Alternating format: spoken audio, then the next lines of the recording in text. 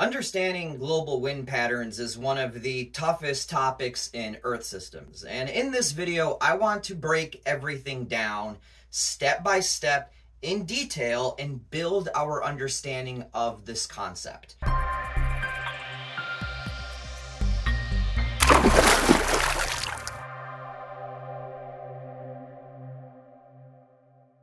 Before we get into the actual global wind patterns, I want to get some definitions out of the way and do a little bit of review in basic chemistry and physics that we need to grasp before we get into it. Solar radiation is the single most important factor that impacts the formation of global wind patterns. Insolation refers to the amount of solar energy an area of land is receiving. Insolation is greatest at the equator, where sunlight is essentially hitting the planet face on. Now, because the planet is curved, the farther away you get from the equator, the less direct light you are receiving. And you can actually demonstrate this yourself. You can grab a flashlight and point it straight down, and you can kind of draw a circle around the light circle. And if you hold the flashlight at an angle, the resulting oval has a much larger surface area. The flashlight is releasing the same amount of light energy, but because it's dispersed over a larger area, the insolation or the amount of energy um, you're getting per unit of area is much lower. Let's actually talk about how air ends up being warmed. Now, I am simplifying a very complex topic in physics and, and physical chemistry here, so bear with me. Photons are essentially particles of light. Now, photons carry the energy of light but don't have any mass. It's just a way to look at light and describe the properties of light in order for us to make sense of the physics we're about to cover. Now, the energy of the photon corresponds to the frequency of an electromagnetic wave. And yes, sunlight is an electromagnetic wave. Light has this particle wave duality where sometimes it can be described as a wave and sometimes it can be described as a particle or both at the same time or neither. It gets weird, but that's beyond the point. We've actually seen this, right? The electromagnetic spectrum includes the visible spectrum or the wavelengths of light that we can observe with our eyes but it also includes all the other wavelengths and frequencies of light, all the way including X-rays and UV and infrared, all of it. So the sun releases this energy, all of this energy, and that light travels towards Earth. These photons carry the kinetic energy of light, and when the light hits the ground, the kinetic energy of that light is absorbed by the surface. The surface radiates or releases that light back up but not as visible light. The surface releases infrared radiation, and IR radiation is one way to measure heat. So in more simple terms, the ground absorbs sunlight energy, which for us is mostly in the visible light spectrum, and releases or radiates back up heat energy in the infrared wavelength. So now we have to look at how air temperature affects air density, right? Light hits the ground, the ground radiates up heat, and that heat warms the air. So we have to first think about what a state of matter is and what that means for particles in motion. In a solid, the particles are packed quite tightly together and aren't really free to move around. They can vibrate and rotate, they don't have any translational movement. In a liquid, the particles are free to move randomly, but are packed together tightly enough and don't have enough energy to really move away from each other. That's why liquids fit the shape of their container. They have to stay together. In a gas, the molecules are not packed closely together and the particles move at much greater speed, so they don't have to stay next to each other. But let's actually zoom into this gas stage. Once we're in the gas stage, we have a temperature and density relationship as well. When a mass of air is heated, the particles start moving much faster and they move farther away from each other as a result. A warm gas expands as a result of this uh, faster particle movement. This results in warmer air having a lower density than cooler air and masses with a lower density rise above masses with a higher density. Conversely, masses with a higher density sink below masses with a lower density. So now with all the heat in the air, we have some particles moving up because of lower density. We have some air particles moving down because of high density. Air pressure is the kinetic energy of air molecules hitting a surface. But in the context of climate and weather systems, it's especially important to consider the kinetic energy of air moving up and down. In warm areas where air has a lower density, the net movement of air particles is upwards. So we call that an area of low air pressure. In cold areas, where air has a higher density and the net movement of air particles is downwards, we call that an area of high air pressure. Now, how does this end up resulting in winds that move along the surface? Well, diffusion is the movement of molecules from a region of high concentration to one of low concentration. In the case of the concentration of air molecules, we can reword this to say that air moves from areas of high pressure towards areas of low pressure. Now that we've got all this high pressure, low pressure, and diffusion out of the way, we can talk about convection cycles. A convection cycle is the movement of a fluid, which is both gases and liquids, both of them undergo convection, um, due to heating and cooling, where warmer fluids rise and cooler fluid sinks, which result in a circular movement that forms a complete cycle.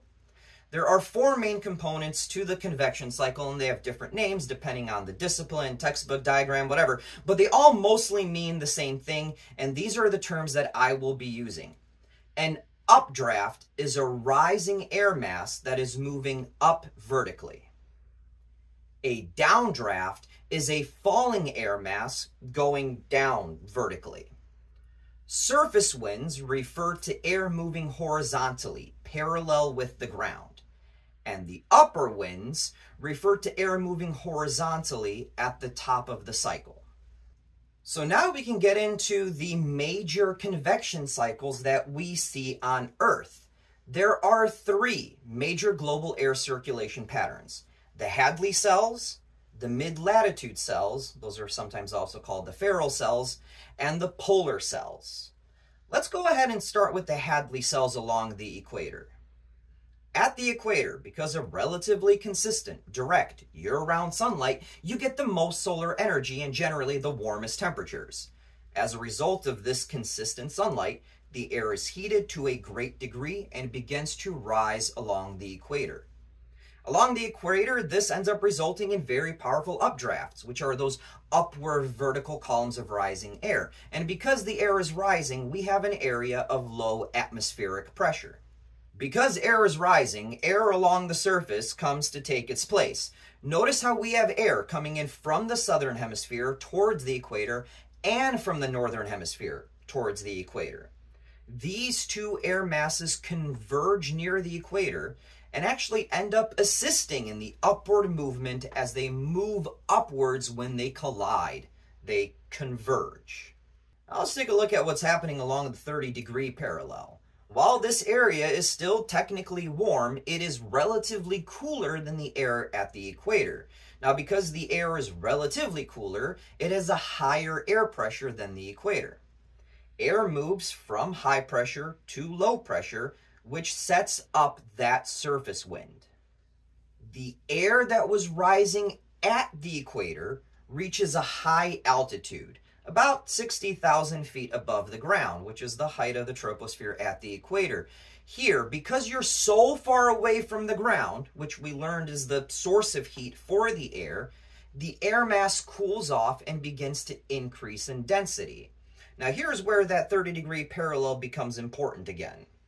Because the surface pressure at the 30 degree parallel is high, we know this is an area where the net movement of air is downwards. And this is where you see the downdraft of the Hadley cell, or the vertical column of descending air. Where the air is descending, it hits the ground, and you get an area where the air diverges.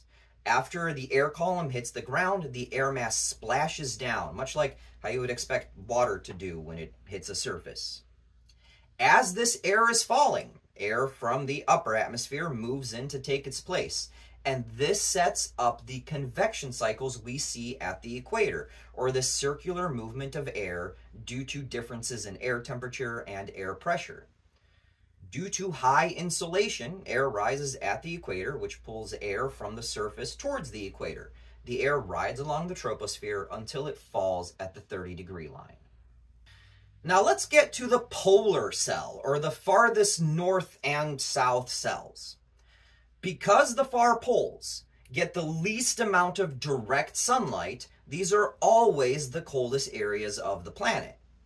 Because the air is cold, it is denser and it sinks. And here's where it's interesting. Because you're at the top of a sphere, the surface air is pretty much always moving down towards lower, warmer latitudes where the temperature is relatively warmer and the pressure consequently lower, right? Things move from high pressure to low pressure. So we can think about the polar cell as always falling down towards the equator. This surface air movement collides with the air that was pushed along the surface from the downdraft of the Hadley cell. And when these two surface winds converge, they collide and push upwards. Now here's what's interesting. This particular updraft at the polar cell is not necessarily formed because the air was being warmed. The updraft is formed mechanically due to the convergence of these two surface winds. The air is pushed upwards to an altitude of about 20,000 feet, which is the height of the troposphere in the upper latitudes, simply because there just isn't enough kinetic energy to push the air any higher. Nonetheless, the air diverges in the troposphere, and this sets up the convection cycle in the polar regions. What's unique here is that the overall cause of the polar cell and its convection cell is the temperature difference between the polar regions and, well, quite literally the rest of the planet. That updraft is not really caused by a true solar-induced updraft. In fact, in some diagrams, the polar cell isn't represented as having an updraft or a downdraft. Rather, it is a spiraling column of air that is falling and then forced back up into the polar regions due to the surface winds traveling north from the 60th parallel.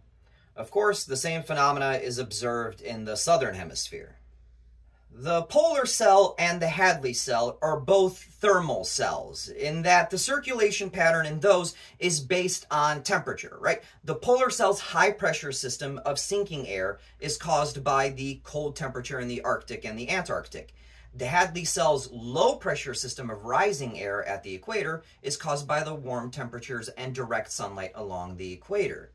Well, the cell that's left is the mid-latitude cell, or the Ferrel cell in the middle. And this is a mechanical cell.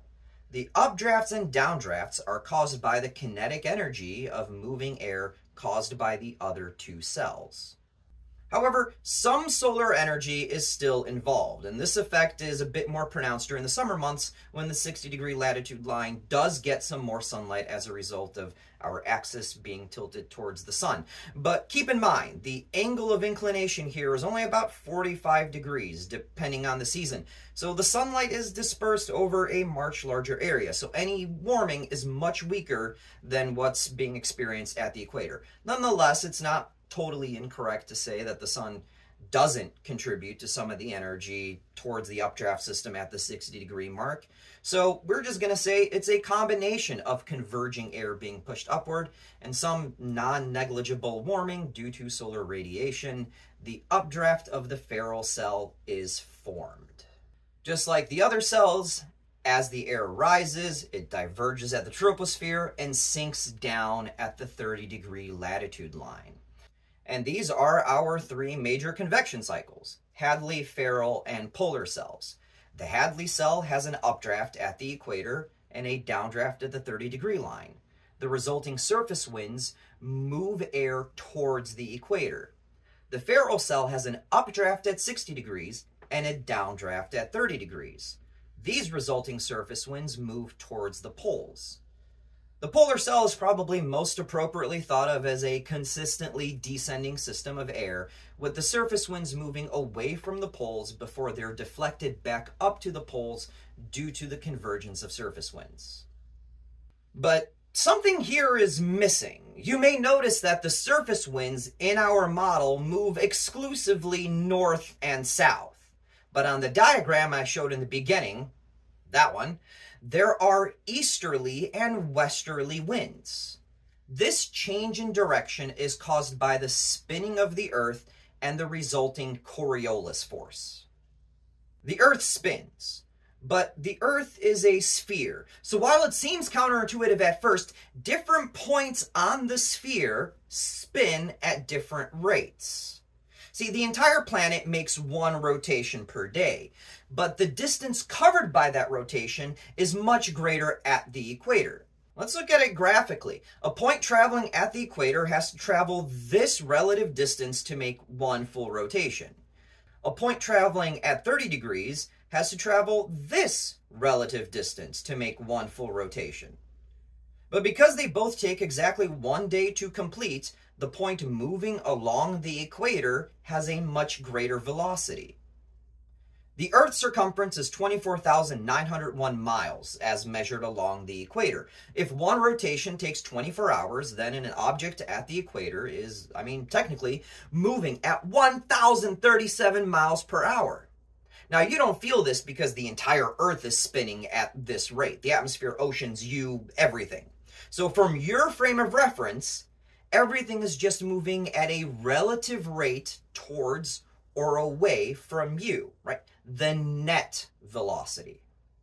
However, the Earth's circumference at 30 degrees is about 21,172 miles. So an object traveling along the 30 degree parallel is only traveling at 882 miles per hour. So now we have to think about the conservation of momentum, right? The momentum of an object is conserved unless some external force is applied. So if the object begins to move south from 30 degrees, right, down towards the equator, that mass has a forward velocity of 882 miles per hour. However, notice how everything else is spinning much faster along the equator. Because the forward velocity of the mass is slower, it will appear to fall behind on its route towards the equator. Now let's think about an object moving north from the 30 degree line up to the poles. Here, the forward velocity of the mass is 882 miles per hour, and as it travels north, the surrounding air is moving much slower. And because the forward velocity is faster than the air around it, it will appear to move forward along its route. This is the Coriolis force. In a rotating system like our planet, a mass will experience a force perpendicular to the direction of travel. This results in masses being deflected to the right relative to their direction of movement in the northern hemisphere. Notice our arrows. From the direction of travel, the mass was deflected right. An air mass moving southwards towards the equator was also deflected right from its perspective. In the southern hemisphere, objects appear to be deflected left relative to their direction of movement. Now, again, look at the dots. The air mass moving north towards the equator was deflected left relative to its direction of travel.